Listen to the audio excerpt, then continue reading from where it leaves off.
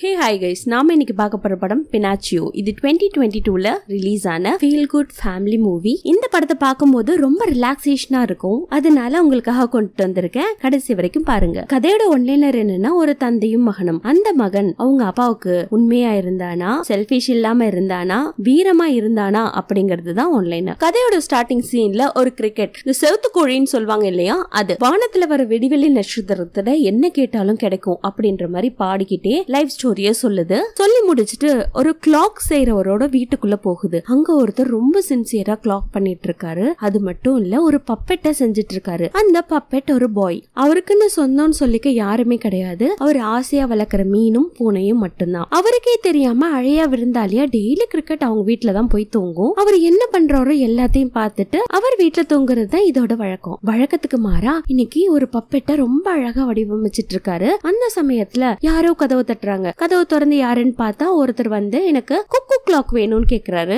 இங்க இருக்க குக்கு கிளாக்லாம் நான் சேல் பண்ற மாதிரி இல்ல. இது எனக்காக நான் வச்சுக்கிட்டது. என் பையன் ஞாபகார்த்தமா இதெல்லாம் பண்ணி வச்சிருக்கேன். நான் விற்க மாட்டேன் அப்படின்ட்டு சொல்லிடுறாரு. அவர் வந்தவர் அப்புறம் ஏன் விற்க போறேன்னு போர்டு போட்டிருக்கீங்க. முதல்ல போர்டு எடுங்கன்னு சொல்லிட்டு நீங்க டிசப்பாயிண்ட் பண்ணிட்டீங்கன்னு கிளம்பி போயிடுறாரு கோவமா. இவர் இந்த பப்பட்டை அழகா பண்ணி முடிச்சிட்டு பப்பட் நீ வந்து ஒரு ரியல் பாய் மாதிரியே இருக்க. உனக்கு என்ன பேர் வைக்கலாம்? உன்னை பைன் மரத்துல செஞ்சதுனால பினாச்சியோ அப்படின்ற பேர் வைக்கிற அப்படின்னு சொல்லிட்டு லைட் எல்லாம் ஆஃப் பண்ணிட்டு தூங்க போறாரு. அப்போ விண்டோவை திறந்து பார்க்கும்போது விடிவெள்ளி நட்சத்திரம் இருக்கு. அதாவது அது கிட்ட எது கேட்டாலும் கிடைக்கும்ன்ற மாதிரி. அந்த சமயத்துல விடிவெள்ளி நட்சத்திரம் கிட்ட விஷ் பண்றாரு. நான் வந்து ஆசைப்படுறது நடக்குமான்னு தெரியல. எனக்கு ஒரு பையன் இருந்தா நல்லா இருக்கும்ன்ற மாதிரி மனசுக்குள்ளே நினைச்சிட்டு படுத்து தூங்கிடுறாரு. அவரு நினைச்ச மாதிரியே திடீர்னு விடிவெளி நட்சத்திரம் அவங்க பையனோட போட்டோல பட் அது அந்த பொம்மை மேல ரிஃப்ளெக்ட் ஆகுது. அதாவது அவங்களோட பையனோட ஆன்மா இந்த பொம்மைக்குள்ள வந்துடுற மாதிரி. அந்த இடத்துக்கு ஃபேர் லேடி வராங்க. நான் தான் உனக்கு உயிர் கூட கொடுத்த நீ இனிமே பேசலாம். நார்மலான மனித குழந்தை மாதிரியே இருக்கலாம். மனிதர்களுக்கெல்லாம் மூளைன்னு ஒண்ணு இருக்கும். உனக்கு இல்லாததுனால கிரிக்கெட்டை உனக்கு கான்சியஸா வைக்கிற. அதாவது நீ என்ன செயல்படுறியோ அதுக்கு அறிவு மாதிரி யூஸ் ஆகும்னு சொல்லிட்டு கிரிக்கெட்டுக்கு கான்சியஸ் சத்திய கொடுத்துட்றாங்க. அவங்க விஷ் பண்ணிட்டு வெளியில போகும்போது ஜன்னலோட கதவை டக்குன்னு மூடிடுறாங்க. அந்த சத்தம் கேட்டு அவங்க அப்பா எழுந்துக்கிறாரு. ஏதோ சத்தம் கேட்டுச்சே அப்படின்னு எழுந்தோடனே பூனை கிட்ட கேக்குறாரு. உனக்கு ஏதாவது சத்தம் கேட்டுச்சா? அப்படின்னு அது ஒண்ணும் இல்லைன்றது. ஏன்னா அது நல்லா தூங்கிட்டு இருக்கும். சோ அப்படி வந்து என்ன சத்தம் என்ன சத்தம்னு பார்க்கும்போது டக்குன்னு இந்த பினாச்சியோ பேச ஆரம்பிக்குது. என்ன? மர பொம்மை பேசுதா? நான் தயாரிச்ச பொம்மை பேசுதா? அவ்வளவு சந்தோஷம் இருக்கு அதை எடுத்துக்கிட்டு தன்னோட குழந்தை மாதிரி கொஞ்சிட்டு இருக்காரு ஆமா நான் பேசுறேன். நீங்க தான் என்னோட அப்பா இல்லையா? நான் உங்க கூடவே இருப்பேன். உங்களுக்கு உண்மையா இருப்பேன். நல்ல பையனா இருப்பேன். வீரமா இருப்பேன். செல்ஃபிஷ் இல்லாம இருப்பேன் அப்படின்னு சொல்லுது. அவருக்கு அளவு கடந்த மகிழ்ச்சி. இந்த உலகமே அவர் கைக்குள்ள வந்த மாதிரி அவ்வளவு சந்தோஷப்பட்டுட்டு எல்லாரும் தூங்க போயிடுறாங்க. மறுநாள் ஸ்கூலுக்கு அனுப்பணும்னு நினைக்கிறாரு. சரி நீ பத்திரமா ஸ்கூலுக்கு போயிட்டு வரணும். ஏன்னா நிறைய கெட்டவங்க எல்லாம் இங்க இருக்காங்க. யார்கிட்டயும் பேச்சு கொடுக்க கூடாது அப்படின்ற மாதிரி சொல்லிடுறாரு. இந்த பையன் ஸ்கூலுக்கு கிளம்பி போயிடுறான். அந்த சமயத்துல பார்த்தா அவர் வீட்டுல இருக்க வேஸ்ட் எல்லாம் கொண்டுட்டு வந்து கொட்டுறாரு. அத ஒரு கடல் பறவை சாப்பிடுது. அதோட பேரு சோஃபியா. அதுக்கு உணவு கொடுத்துட்டு அவர் பூனையை தூக்கிட்டு உள்ள போறாரு. கிரிக்கெட் நல்லா தூங்கிட்டு இருக்காரு. இவர் வந்த சத்தத்தை பார்த்துட்டு ஐயோ லேட் ஆயிடுச்சு. அவன் ஸ்கூலுக்கு போயிட்டானான்ட்டு. ஏன்னா அவனோட கான்சியஸ் இல்ல. கட கட கடன்னு பின்னாடியே துரத்திட்டு ஓடுது. இந்த குழந்தை துள்ளி குதிச்சு ஓடிக்கிட்டே ஸ்கூலுக்கு போகும்போது அந்த வழியா ஒரு ரெண்டு குள்ளநரி வரும். அது பார்த்துட்டு என்ன?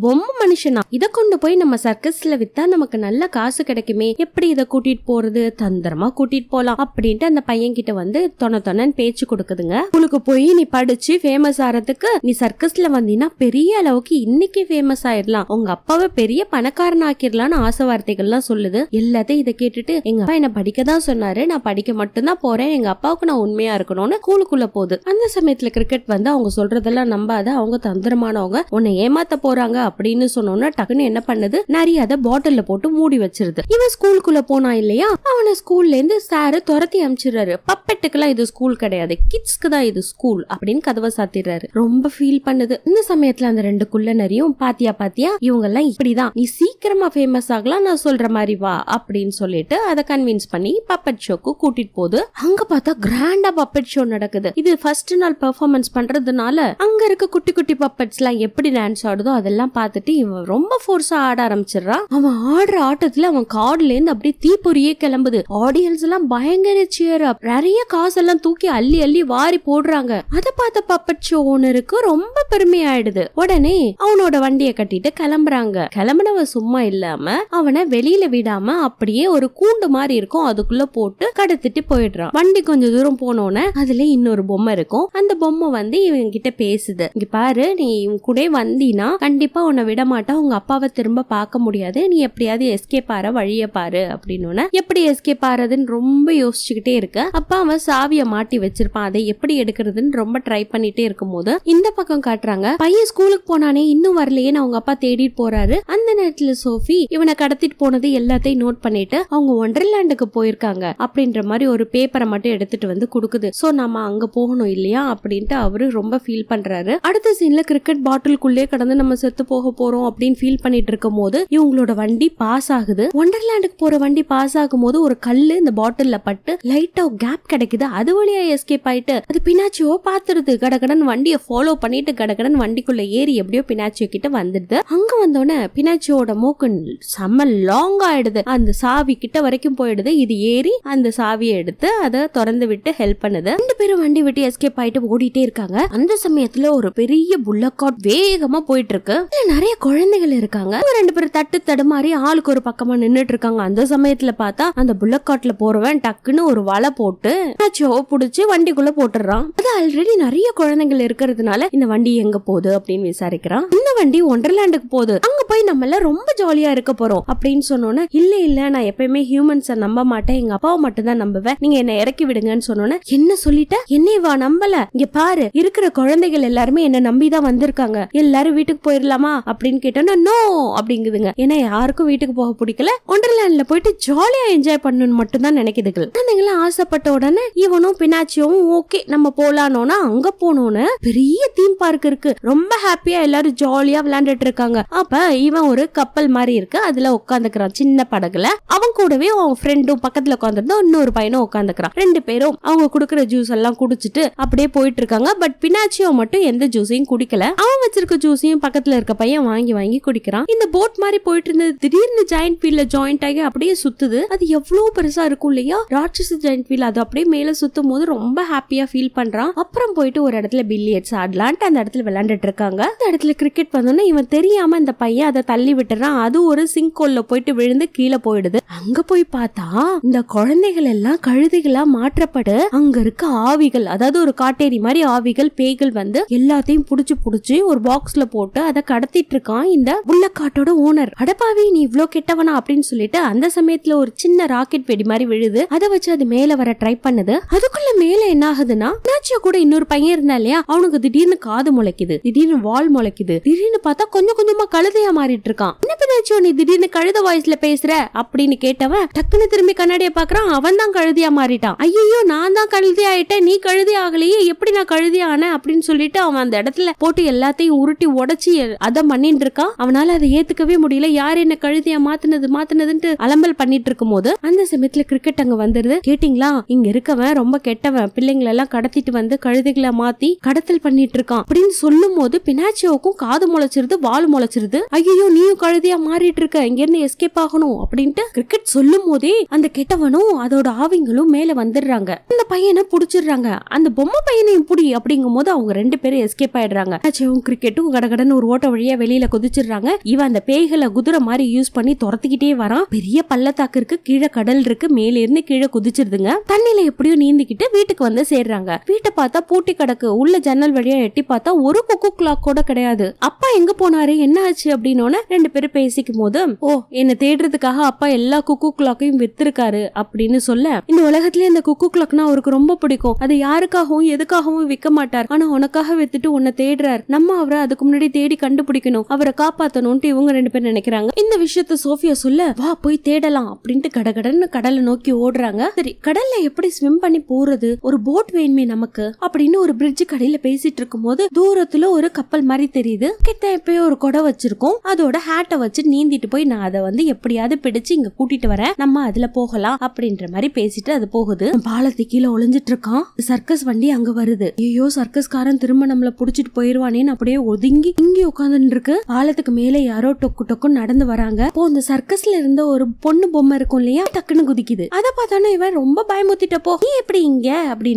ஓனரை போலீஸ் அரெஸ்ட் பண்ணிட்டாங்க. தனியா சர்க்கஸ் கம்பெனி ஆரம்பிச்சுட்டு பப்பட் ஷோ தனியா நடத்த போறோம். எங்க கூட ஜாயின் பண்ணிக்கிறியா? அப்படின்னு கேட்க எனக்கும் உங்க கூட ஜாயின் பண்ணிக்கணும்னு ரொம்ப ஆசையா இருக்கு. ஆனா அதுக்கு முன்னாடி எங்க அப்பாவை தேடணுமே. எங்க அப்பா என்ன தேடிக்கிட்டு கடலுக்குள்ள போயிருக்காரு. அவரை தேடி நான் கண்டுபிடிச்சிட்டு வர்றதுக்கு அட்லீஸ்ட் ஒரு வருஷம் ஆகும். எனக்காக வெயிட் பண்ணுங்க. நான் போய் அவரை கண்டுபிடிச்சிட்டு அவரை சாட்டிஸ்ஃபை பண்ணிட்டு அவரை கன்வின்ஸ் பண்ணி உங்ககிட்ட வந்து ஜாயின் பண்ணிக்கிறேன் அப்படிங்கிற மாதிரி சொல்லுது. கண்டிப்பா உனக்காக நான் காத்துட்டு இருக்கேன் அப்படின்ட்டு அது போயிடுது அங்கிருந்து. அதுக்குள்ள கிரிக்கெட் அங்கிருந்து இங்க வருது. எப்படி நம்ம கடல்ல கடந்து போறதுனே தெரியல. எந்த ஒரு ஹெல்ப்பும் கிடைக்கல. ஆனா சோஃபியா சொன்னா இல்லையா? ஒரு ரெண்டு மணி நேரத்துக்கு முன்னாடி தான் உங்க அப்பா இங்க இருந்து கிளம்பினாரு. சோ நம்ம அவரை இப்ப போனா புடிச்சிடலாம். ஆனா எப்படி போறதுன்னு தான் வழி தெரியல. ஒரு ஐடியா பண்ணலாம். அப்படின்னு இவங்க பேசிட்டு இருக்கும் போதே சோஃபியா அங்க பறந்து வருது. எனக்கு தெரியும் என்கிட்ட தான் நீங்க ஐடியா கேட்க போறீங்க. நான் ஒருத்தரை மட்டும் தான் தூக்கிட்டு போக முடியும். ரெண்டு பேரை தூக்கிட்டு போக முடியாது. அதுவும் இல்லாம பின்னால அப்ப தூக்கிட்டு போக முடியாது அப்படின்னு சொல்ல எனக்கு ஒரு ஐடியான்ட்டு அங்க இருக்க கயிறு எடுக்கிறான். அடுத்த செகண்ட் பார்த்தா இது வாயில புடிச்சுக்குது. இவன் கயிறை போட்டு ரெண்டு பேரும் அதுல தொத்திட்டே போறாங்க. ரொம்ப தூரம் போயிருப்பாங்க. மெதுவா பொறுமையா எந்த சத்தம் இல்லாம போங்க. இங்க பெரிய சீ மான்ஸ்டர் இருக்கும். அது கடலுக்குள்ள தூங்கிட்டு இருக்கும். அது வந்ததுன்னா நம்ம பொழைக்கவே முடியாதுன்னு சொல்லிட்டே போறாங்க. தூரத்துல ஒரு படகு போகுது. அத சீபெட் சோஃபியா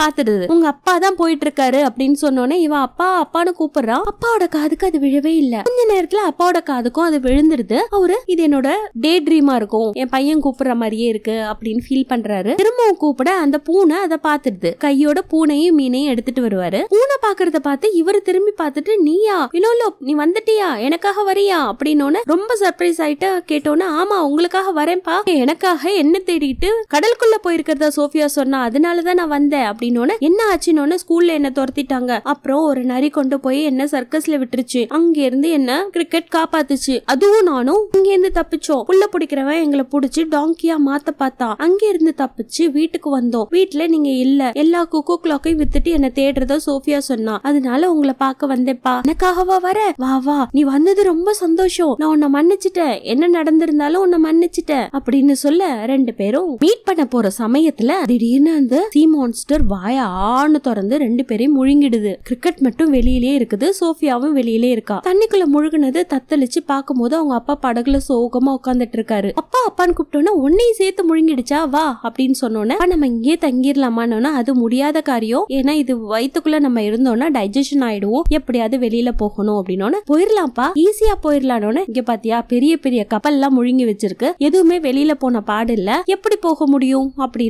பினோவுக்கு ஒரு ஐடியா வருது. டான்ஸ் ஆடும் போது அது கால்ல இருந்து ஃபயர் வந்தது இல்லையா? அதை யூஸ் பண்ணி ஃபயரை கிரியேட் பண்ணுது. அங்க இருக்க சீ மான்ஸ்டரோட ஆயில் இருக்கும். ஃபயரை கிரியேட் பண்ற ஆயில் எடுத்து ஊத்துங்க அப்படின்னு அந்த இடத்துல ஃபயர் ஆயிடுது. அந்த ஸ்மோக் தாங்க முடியாம அது வாய திறக்கும் நம்ம வெளியில போயிடலாம் அப்படின்ட்டு படகுல ரெடியா வெயிட் பண்ணிட்டு இருக்காங்க. வெளியில கிரிக்கெட் பல்ல தொற வாய தொற அப்படின்ட்டு பள்ளிக்கிட்டே உட்காந்துட்டு இருக்கு. சீ மான்ஸ்டருக்கு போக தாங்க முடியாம வாய மெதுவா திறக்குது வெளியில புகை வருது. என்னது புகை வருதா உள்ள இருந்து? அப்படின்னு இவங்க நீந்தி வந்துட்டு இருக்காங்க பட் ரொம்ப லாங்கா இருக்கு. சுனாமி மாதிரி அலைகள் அப்படியும் இப்படியும் ஃப்ரண்ட்லயும் பேக்லயும் போயிட்டு வந்துட்டு இருக்கு. எப்படியோ இவங்க எல்லாரும் எஸ்கேப் ஆகி வெளியில வந்துடுறாங்க. வந்த வேகத்துல போட்டு பாதியா உடஞ்சுக்குது. அப்பா ஒரு சைடும் பையன் ஒரு சைடும் போயிடுறாங்க. பையன் டக்குன்னு நீந்தி வந்து அப்பாவை புடிச்சு படகு மேல ஏற பாக்குறான். பின்னாடி பார்த்தா சீ மான்ஸ்டர் திரும்ப துரத்திக்கிட்டே வருது. என்ன பண்றதுன்னு தெரியாம மோட்டர் போட்டை ஓட்டுற மாதிரி இது ஃபோர்ஸா அந்த போட்டை தள்ளிட்டு ஒரு ஹோல்ஸ் மாதிரி இருக்கு. அதுக்குள்ள போனா எஸ்கேப் ஆயிடலாம் அப்படின்ட்டு பயங்கர ஃபோர்ஸா வருது. நம்ம பையன் பினோவுக்கு கெத்து வந்து அப்படியே கிளம்புவான் பாருங்க. சும்மா ரகடா. மோட்டர் போட்டோட பயங்கர ஸ்பீடா போவான். அதுக்குள்ள சீ மான்ஸ்டர் வந்து வாய்க்குள்ள அவங்கள அப்படியே ஃபுல்லா கேரி பண்ணி முழுங்க போற சமயத்துல இது படுவேகமா போய் அந்த ஓட்டுக்குள்ள நுழைஞ்சிடுது. தீ மான்ஸ்டர் வந்த ஃபோர்ஸுக்கு அந்த மலைகளை மோதுது. அது ரெண்டா உடைஞ்சு அப்படியே விழுந்துருது. இவங்க அந்த பக்கம் தூக்கி எறியப்படுறாங்க. அவங்க அப்பா மூச்சு பேச்சு இல்லாம அப்படியே படுத்து கிடக்குறாரு. பூனையும் மீனும் மிதந்து வருதுகள். அப்பா எழுந்துருங்கப்பா. நம்ம எல்லாரும் ஒண்ணு சேர்ந்துட்டோம். இங்க பாருங்க பூனை இருக்கு மீன் இருக்கு. எல்லாம் ஃபேமிலியா வாழலாம். எழுந்துருங்க எழுந்துருங்க எழுந்துருங்கன்னு அது கண்ணில இருந்து ஒரு சொட்டு கண்ணீர் வந்து அவங்க அப்பா மேல படுது. அவரு மிராக்கள் மாதிரி அந்த இடத்துல பொழைச்சு எழுந்துக்கிறாரு. நம்ம காப்பாற்றப்பட்டுட்டோமா? என்ன ஆச்சுன்னு கேட்டோன்னு நடந்த விஷயத்தெல்லாம் அவர் ரெக்கக்னைஸ் பண்றாரு. நீ என்னோட பையன் மட்டும் இல்ல உண்மையான வீரமான அன்செல்பிஷ் நிறைந்த பையனா இருக்க அப்படின்னு பெருமையா பேசும்போது அதுக்கே ரொம்ப சந்தோஷமா இருக்கும். சரி நம்ம இங்க இருந்து எப்படி போறதுன்னு நம்ம லைட்டை ஃபாலோ பண்ணி போலாம்பா? நமக்கான வீடு வந்துரும் அப்படின்ட்டு ஹாப்பியா அவங்க அந்த இடத்த விட்டு போறாங்க. இதோட இந்த கதை முடியுதுங்க. எனக்கு இந்த படம் ரொம்ப ரிலாக்ஸ்னஸையும் ஹாப்பியும் கொடுத்துச்சு. உங்களுக்கு எப்படின்னு கமெண்ட்ல சொல்லுங்க. தேங்க்யூ ஃபார் வாட்சிங் this is Tamil vocal candy I am Meenu subscribe பண்ணாதவங்க பண்ணிக்கோங்க. பக்கத்துல இருக்க பெல் சிம்பிளை பிரஸ் பண்ணிக்கோங்க. அப்பதான் நான் போடக்கூடிய வீடியோக்கள் உங்களோட நோட்டிஃபிகேஷனை தேடி வரும். ஃபாலோ பண்ணிக்காதவங்க ஃபாலோ பண்ணிக்கோங்க.